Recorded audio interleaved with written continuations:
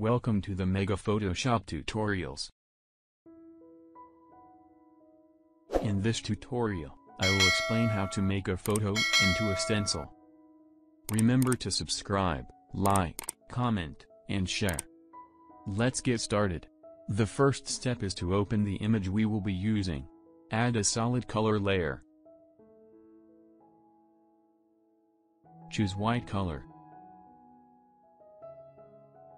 Use Ctrl plus J to duplicate the background.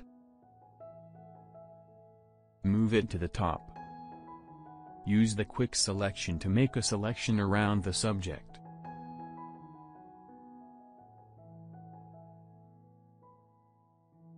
To deselect, hold Alt key and brush, or select the brush minus on top. Add mask. Add a threshold layer. Make it what you look good.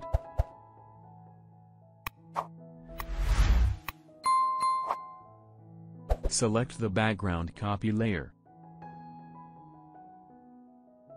Go to Filter, Stylize, Diffuse choose Anisotropic. You can run the filter again. Go to Filter, Sharpen, Smart Sharpen.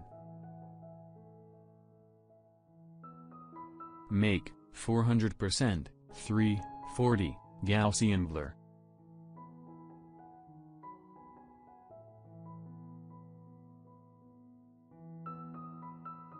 Select the top layer, then hold Shift key and select the color fill layer, this selects all four layers. Then right-click, select Convert to Smart Object. This is the final result.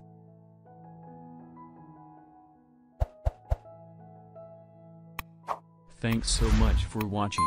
Subscribe and like if you found this tutorial helpful.